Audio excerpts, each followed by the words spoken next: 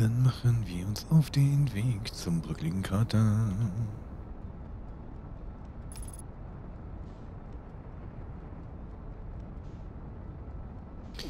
Die Kraterlaterne. Warum ist die Kraterlaterne angewählt, Freunde? Das geht so nicht. Ich wollte den bröckeligen Krater.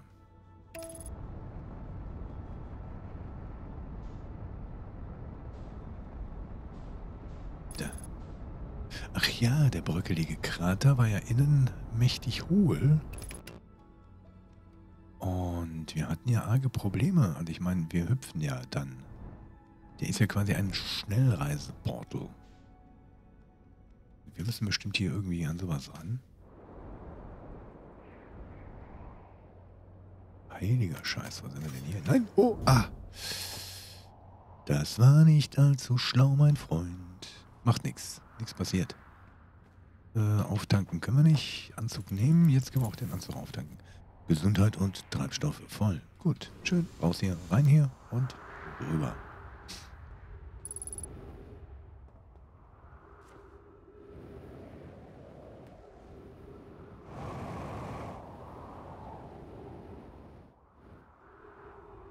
Okay. Buff, das hat wehgetan unidentifiziertes Signal in der Nähe. What? Hilfe. Wie Hilfe. ja, ja, zum Südpol. Ich weiß doch. Wo ist denn der Südpol? Bin ich da etwa gerade auf dem Weg hin? Alter, was geht denn hier ab? Ich werde bekloppt. Was heißt wirst? Guck dir das mal an da. Esmeralda. Und hier scheint der Stromgeber dafür zu sein. Okay.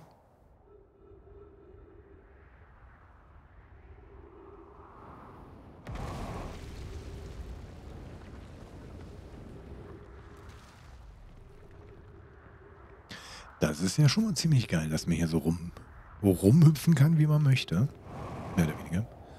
Man muss natürlich auch mal aufhören. Ah, sein Boost achten. Nein, nein, nein, nein, nein, nein, nein. Shit.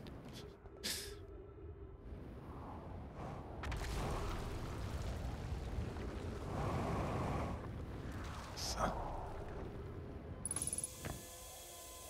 Bäume entdeckt. Sauerstofftank aufgefüllt.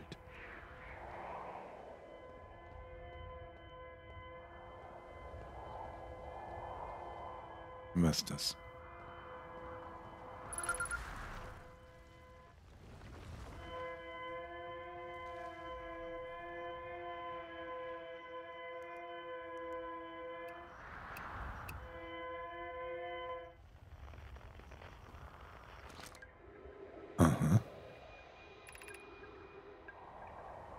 Geht es allen gut?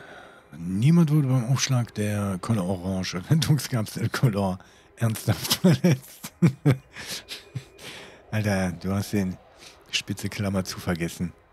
Wir hatten sehr viel Glück. Da sind zumindest gute Neuigkeiten. Wissen wir etwas von Rettungskapsel 2 oder Rettungskapsel 3? Nein, ich konnte keinen Kontakt herstellen.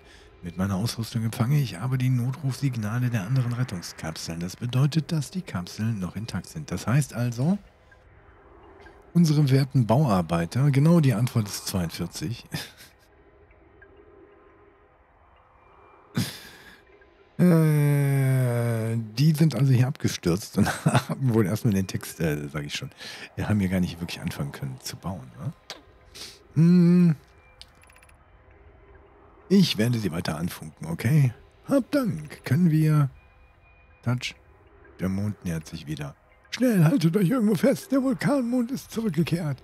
Äh, passt auf fallende Asche und Geröll auf. Ich glaube, der Mond ist vorübergezogen. Der Planet scheint sich nicht gerade über Besucher zu freuen. Auf seiner Oberfläche sind wir alles andere als willkommen. Wir müssen schnell eine Zuflucht finden. Der Vulkanmond wird nicht lange fernbleiben.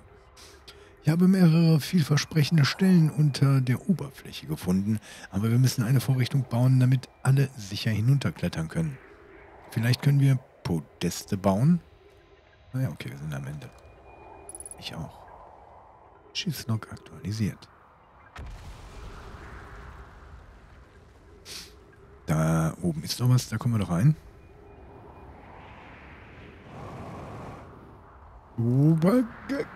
Ah, so.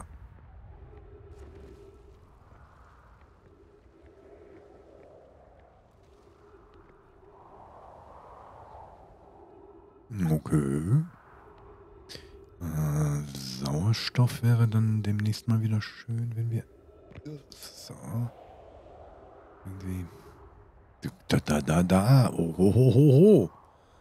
Ho, ho, Hosenknopf, würde ich da mal sagen, Freunde.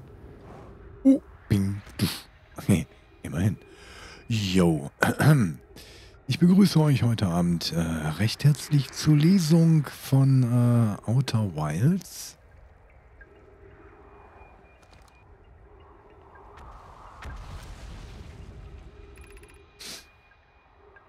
Externe Umgebung wird überprüft. Warte mal, wie viel sind das denn? Okay. Drei, vier. Okay, das geht ja noch. Externe Umgebung wird überprüft, Überprüfung abgeschlossen, minimale strukturelle Schäden festgestellt, Abschnitt mit atembarer Luft gefunden, ähm, adäquate, adäquate Sonnenquelle entdeckt, ähm, Beurteilung bewohnbar. Kollision steht unmittelbar bevor, beinhaltet äh, Bereithalten für den Aufprall. Starte Rettungskapsel 3, Starte Rettungskapsel wird gestartet. Äh, lass Fluglog anfangen. Rettungskapsel 1 äh, Gefährt wurde tödlich verwundet. Notfallsequenz aktiviert, erwartet Abflug vom Gerät. Das heißt, es sind nur noch zwei Kapseln übrig, ja?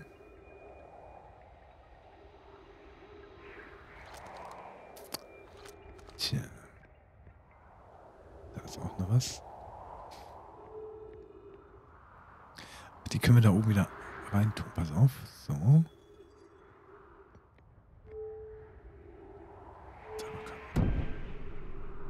Shit, ich hätte, ich wollte eigentlich auch da lesen, was da auf der Tür stand. Okay, das war ähm, unbeabsichtigt, Freunde. Das war unbeabsichtigt. Ich wollte hier nicht mit der Tür ins Haus fallen. Ist eigentlich nicht so ganz meine Art. Boah. Alter, was? Nicht jetzt. Och, echt.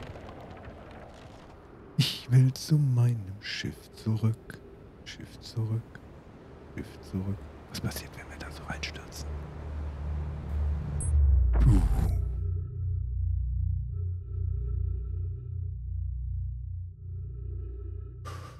Jo, 31 Kilometer vom Schiff weg. Das ist eine sehr gute Sache. So, jetzt schauen wir mal, dass wir hier wieder reinkommen. Pass mal auf, pass mal auf, pass mal auf hier. Das schaffen wir. Außerdem düst hier doch auch was rum. Bist denn du?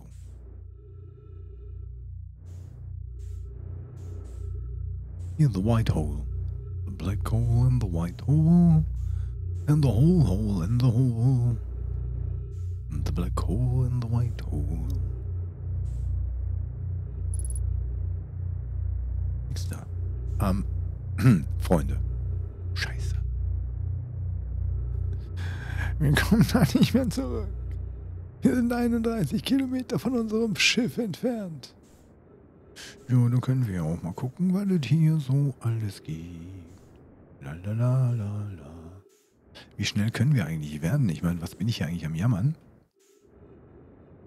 Wenn wir doch eine kontinuier kontinuierliche Beschleunigung hinbekommen. Was ist das denn alles hier? dann bestünde ja eventuell sogar die Möglichkeit, dass wir rasend schnell da ankommen, wo wir hinwollen. So wie ich ja auch rasend schnell hier andauernd gegen irgendwas dötz.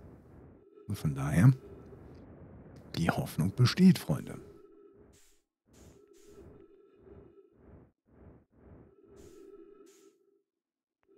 Das ist das Ding von eben, ne? Mhm.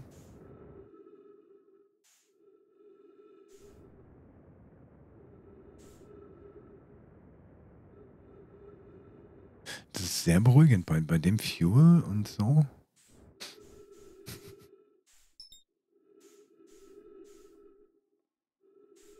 Aber der Eindringling kommt auf uns zu, das ist gut.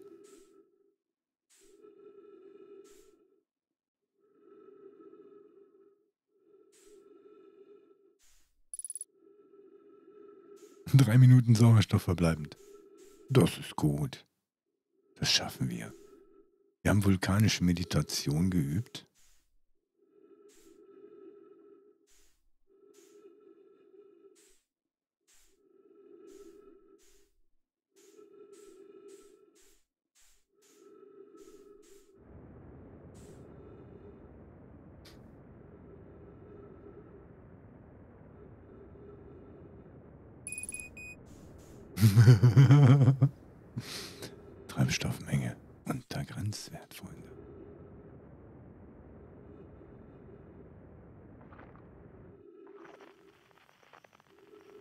Er hat uns aber auch nichts zu sagen.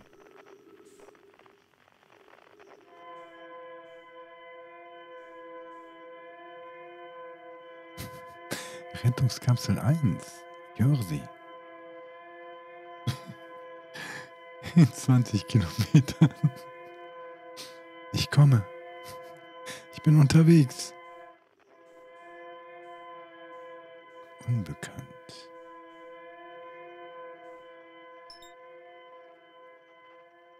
Aber das ist Holzkamin.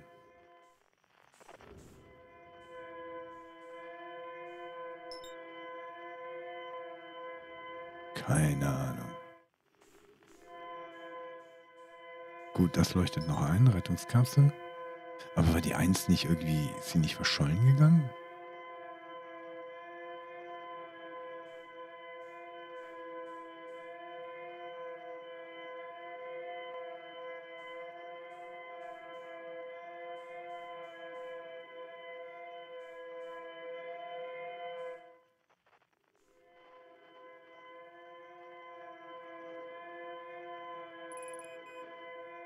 60 Sekunden Sauerstoff. Voll cool. Alter Falter, was für ein Game. Ist schon, ist schon geil. Also irgendwie hat's was.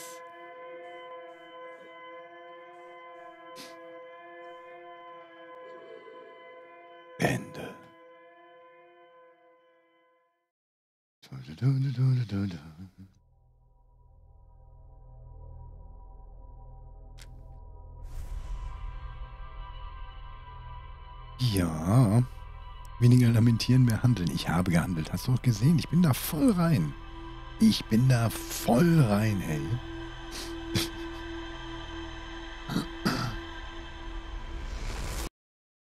Guten Morgen.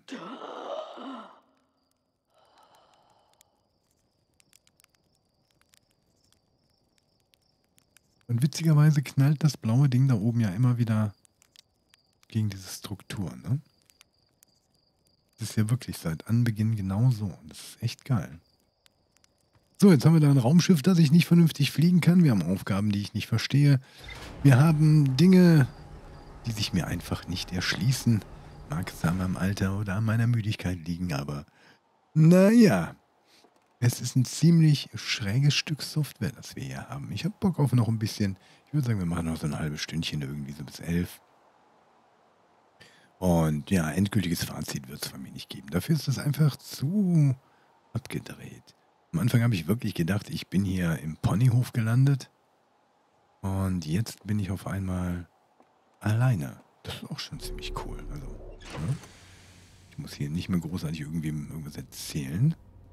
Und naja, bin jetzt auf mich selbst gestellt.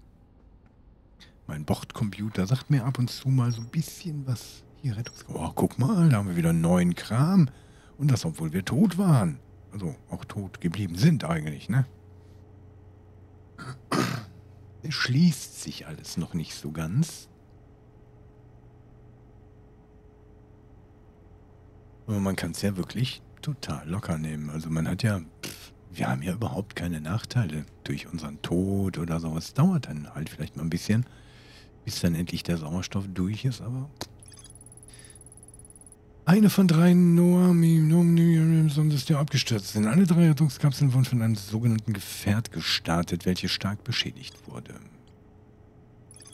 Hm, die Überlebenden auf äh, die, der Nomai, äh, die auf dem bröckligen Krater abgestürzt war, kletterten die Klippe hinunter in einer Zuflucht unter der Oberfläche. Und da hätte ich hingemusst. dann bin ich abgestürzt, weil auch alles irgendwie so bröckelig war. Verstehst du? Alles so kaputt und bröckelig. Kaputt. Bröckelig. Ja, düsen wir da nochmal hin, ne? Also, ziemlich geil.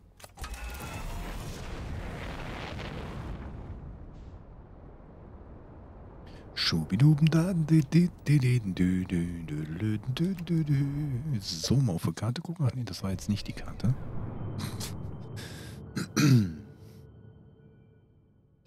Der gute bröckelige Krater.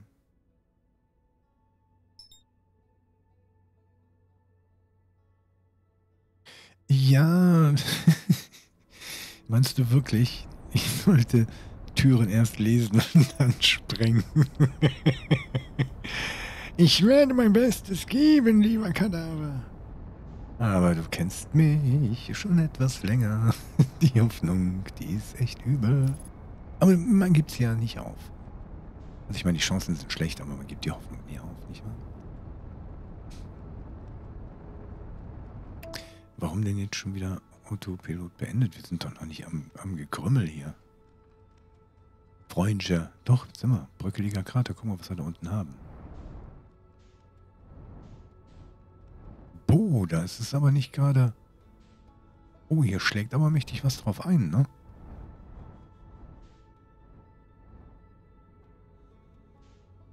Was denn hier?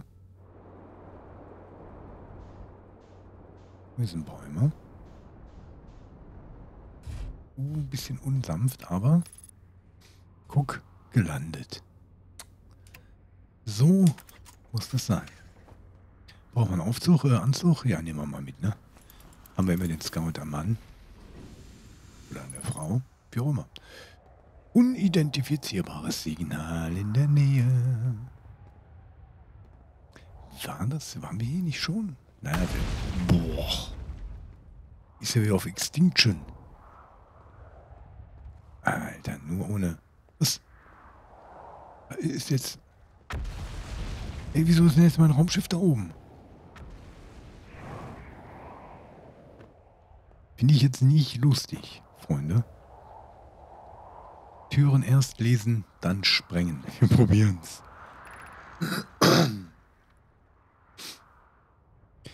Unter deinen Füßen ruht der Turm der Quantumweisheit. Bereitest du dich ähm, auf deine erste Pilgerreise zum Quantummond vor, dann steige diese Treppen hinunter zum Eingang. Das Wissen, das du dort finden wirst, wird dir auf deiner Reise weiterhelfen. Schön.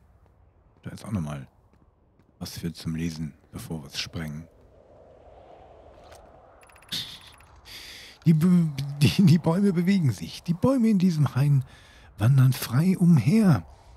Die ganze Pflanze mit Wurzeln und allem drum und dran. Das ist nicht normal, selbst für so einen fremdartigen Planeten. Und ich habe noch nie gesehen, wie sie sich bewegen. Äh, ist das die Möglichkeit?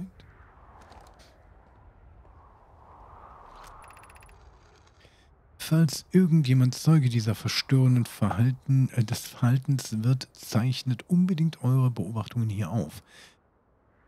Entweder sie sind das sehr andersartige Bäume oder mein Verstand spielt mir Streiche. Das sind bestimmt keine Bäume, das sind bestimmt Wanderbäume. Ich kenne die nur noch nicht. Plum hat recht, die Bäume bewegen sich tatsächlich. Ich gebe zu, mir fiel es erst auf, nachdem ich seine Notiz gelesen hatte. Ja, ja, vielleicht auch irgendwie sowas wie eine selbsterfüllende Prophezeiung, ne? Oh oh. Und es sind nicht nur die Bäume in diesem Gebiet. Gibt es auch noch andere Materie, zum Beispiel diese ungewöhnlichen Felsbrocken, die sich ebenso geheimnisvoll bewegen. Der Felsen ist ähm, noch aus einem anderen Grund ungewöhnlich. Touch, seine Farbe ähm, und Oberflächenbeschaffenheit habe ich noch nirgendwo sonst auf diesem Planeten gesehen. Okay. Hypothese. Die Gegenwart der Felsbrocken ist von Bedeutung. Wir sollten ihn untersuchen. Kann es sein, dass er die Bewegung ähm, der anderen Objekte in diesem Gebiet verursacht? Oh, das ist eine Möglichkeit. Tastatur da drauf oder was? Oder wie? Entferne Codex. So, warum haben wir den jetzt entfernt? Stimmt, weil wir den irgendwo anders einsetzen sollen, oder?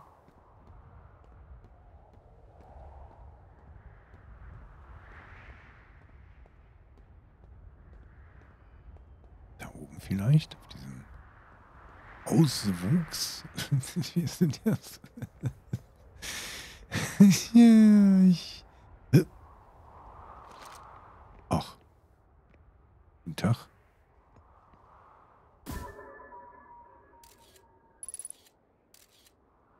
So, jetzt hockt da da unten der Scout.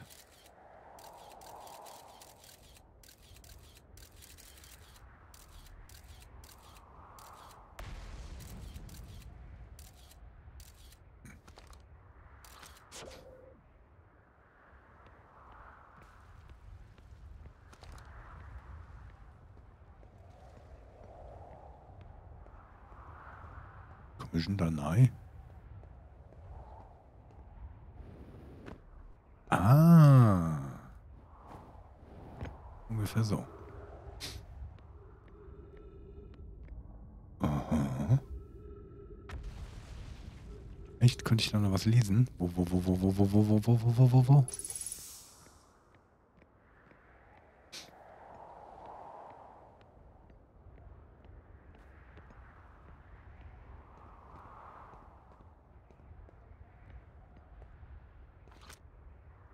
Wie Kann man doch den Kodex lassen, habe ich jetzt eben ein paar Mal gesehen.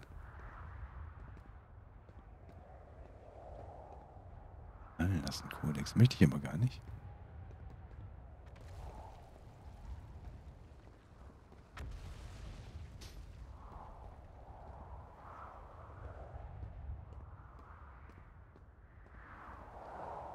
Dann wollen wir mal da runter.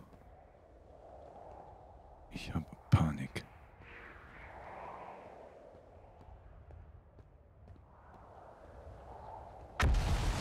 Es ist blöd, dass die mir andauernd vorschlägt, dass ich den Kodex fallen lassen soll.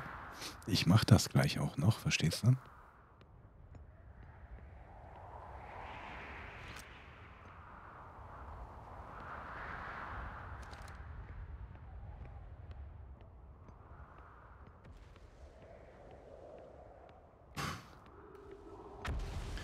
Okay, okay. Wir gehen dann mal hier runter.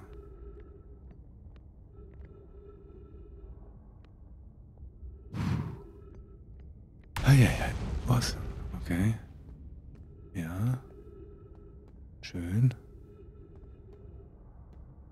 Im Innenbereich. Abzweigungen mit Bimomat. Ist wahrscheinlich an die Oberfläche. Bimomat aus. Bimomat in die andere Richtung kann das sein. Bimomat nach oben. Ja, ja, ja, das ist ein Aufzug und die Steuerung daneben. Na, na ja, klar, lassen wir die Codex fallen. Übersetzermodul ausrüsten. Das südliche Ob Observatorium. Süden 550 Meter.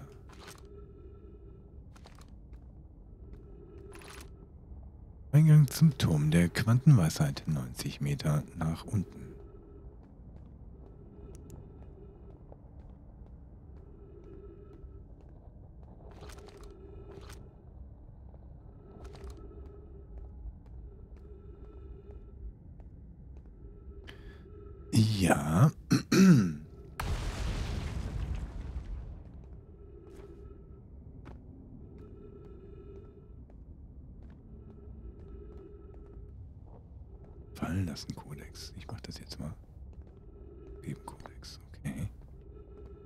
Liegt irgendwer.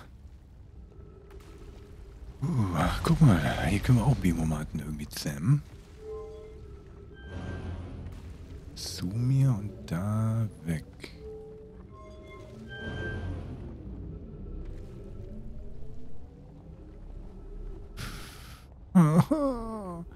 So viele Wege. Und so wenig Entscheidungskraft von eurem alten Sack hier. Ich will nach Hause.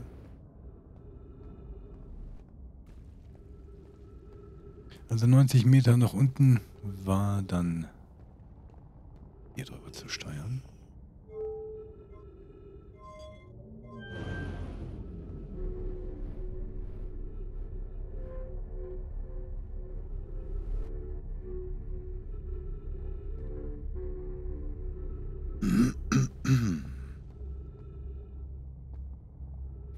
Ja, also, ach, überall so Steuerungsdinger. Transportsysteme. Noch ein Codec. Sei hier herzlichst willkommen. Über dir thront der Turm der Quantenweisheit. Na dann begibst du dich auf deine erste Pilgerreise zum Quantenmond, dann erklimme diese Stufen und erlange das höchste Wissen, welches dir auf deiner Reise sehr dienlich sein wird. Das stimmt wohl. Wird bereits gehalten, Codec.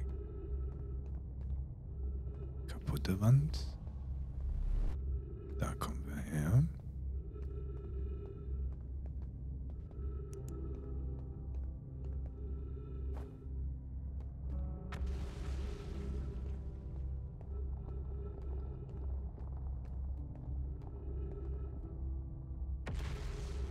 Direkt unter uns ist die Singularität oder das Wurmloch oder was auch immer. Hier könnten wir wieder reisen. Die Kreuzung Osten 190 Meter. Okay.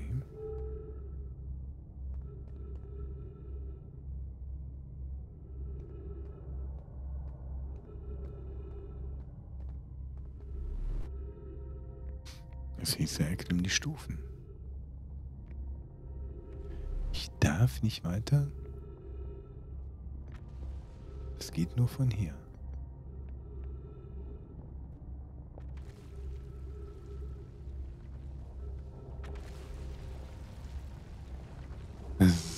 so abgedreht. Ähm, hier auf dem Gebiet können wir einfach an der Wand lang, obwohl hier keins von diesen komischen Kristallen ist. Diese Wand leuchtet auch so komisch.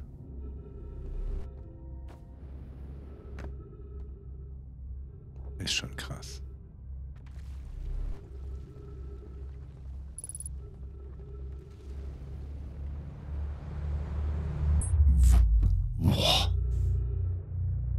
Alter, ist das krass. Haben noch drei Minuten Sauerstoff. Ich würde sagen, die nutzen wir, um auf die Sonne zuzurasen. Wie Jeck. Nee, Quark, für die gemütliche Verabschiedung. Weil, boah, a little bit much für euren alten Sack. Nein, Scherz, ähm, tja, ich kann es nicht zuordnen.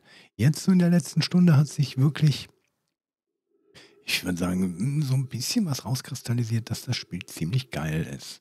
Wir haben halt eine begrenzte Zeit, wir müssen auf diesen komischen Planeten hier ähm, herausfinden, um was es geht. Unser Wissen bleibt zum Glück erhalten und äh, naja, jetzt, wo wir hier nicht mal an der Hand gehalten werden und so, ah und hi und ähm, zwanghaft komisch sein muss und so, ähm, ist das eigentlich ein recht interessantes Game. Wie gesagt, ich hatte eine andere Vorstellung und äh, die Beschreibung kam so ein bisschen anders rüber. Da habe ich mir halt andere ähm, Gedanken oder Vorstellungen gemacht und die sind auf keinen Fall erfüllt worden. Deswegen bin ich halt auch nicht begeistert, sondern äh, einfach nur super interessiert, super interessant. Ich habe dem jetzt mal eine Chance gegeben. Ich meine, schon eine harte Chance, zwei Stunden spielen, um dann überhaupt so ein bisschen drauf zu kommen, zu sagen, okay, hm, was ganz anderes. Wir sind jetzt endlich frei. Wenn die mich jetzt weiter hier an der Hand durch den Ponyhof geführt hätten, dann puh, weiß ich nicht, ob ich überhaupt noch länger gespielt hätte, weil das ist dann doch ein bisschen nervig. Tja was soll ich sagen? Also Outer Wilds ziemlich interessant, wenn man da so die erste Stunde, die ersten 80 Minuten eventuell mal so einfach über sich ergehen lässt und äh, oder halt einfach ganz schnell erstmal den Code besorgt, damit man loslegen kann. Aber dann ist es eigentlich recht interessant. Wir müssen hier auf uns selbst gestellt versuchen herauszufinden, was hier überhaupt los ist. Unglaublich. Geiler Countdown, noch 60 Sekunden, ihr Lieben. Ja, was soll ich sagen? Also ich äh, bedanke mich fürs Reinschauen. Ich bedanke mich fürs Dabeisein. Danke für den Support, besonders an Kadaver und unseren Norbert. Kreatin nochmal danke für den hier. Piep, piep, piep. Ach, ihr Lieben, ich hoffe, ihr hattet einen einigermaßen vernünftig ruhigen oder wie auch immer betrunkenen Feiertag. Und nun bleibt mir nur noch zu sagen, passt auf euch auf. Gehabt euch wohl. Ich bin tot. Euer John Defool. Bis dann. Tschüss, ihr Lieben. Tschüss. Macht's gut. Arrivederci. Schlaft gut, träumt süß. Und ich würde sagen, die Tage schauen wir auf jeden Fall noch in Outer Wilds rein. Ist verdammt interessant. Auch wie gesagt, wenn es mich so ein bisschen. Ihr wisst schon, ihr habt es ja mitbekommen. Ich habe mehrmals erwähnt, dass ich ja jetzt so ein bisschen. Das müssen wir uns weiter angucken. Naja, gut. In diesem Sinne, schlaft gut. Tschüss.